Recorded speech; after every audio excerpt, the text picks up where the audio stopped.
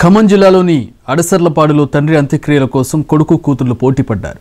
తామే కర్మకాండలు నిర్వహిస్తామని గొడవకు దిగారు. సర్ది చెప్పేందుకు వచ్చిన పంచాయతీ పెద్దలు చేతులెత్తేయడంతో పోలీసులు జోక్యం చేసుకున్నారు. చివరికి మృతుడి కుమారుడితో అంత్యక్రియలు నిర్వహించేలా కుటుంబ సభ్యులను ఒప్పించారు. ఖమ్మం జిల్లాలోని అడసర్లపాడులో కన్న తండ్రి అంత్యక్రియల కోసం కొడుకు కూతుళ్ళు పోటీపడ్డారు. రాఘవులు అనే డెబ్బై ఏళ్ళ వృద్ధుడు అనారోగ్యంతో మృతి చెందాడు. మృతుడికి ముగ్గురు సంతానం. తండ్రి బతికున్న సమయంలో యోగక్షేమాలు పట్టించుకోని తమ్ముడు. అంత్యక్రియలు చేయడానికి వీల్లేదంటూ ఇద్దరు కూతుర్లు అడ్డుపడ్డారు.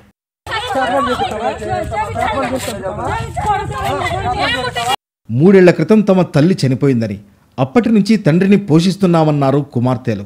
తాను చనిపోతే అంత్యక్రియలు కూతుళ్ళే నిర్వహించాలని తమ తండ్రి చివరి కోరిక కోరారని తెలిపారు. కర్మకాండకు ఏర్పాట్లు చేస్తుండగా తమపై తమ్ముడు దాడికి దిగాడని వారు ఆరోపించారు.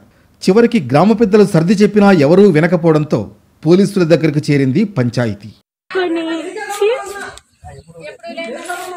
రంగ ప్రవేశం